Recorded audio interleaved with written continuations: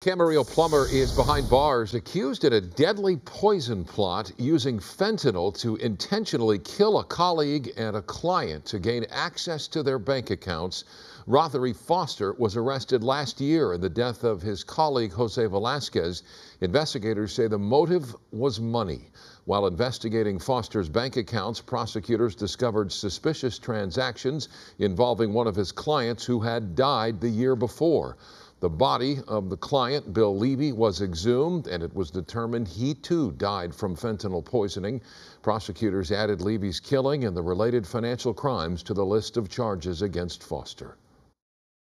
As it stands today, 33 felony charges and over 100 special allegations.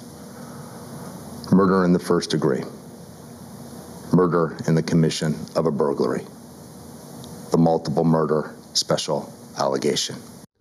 Investigators say they've never seen a case like this before where fentanyl is used as the suspected murder weapon with bank fraud as the motive. The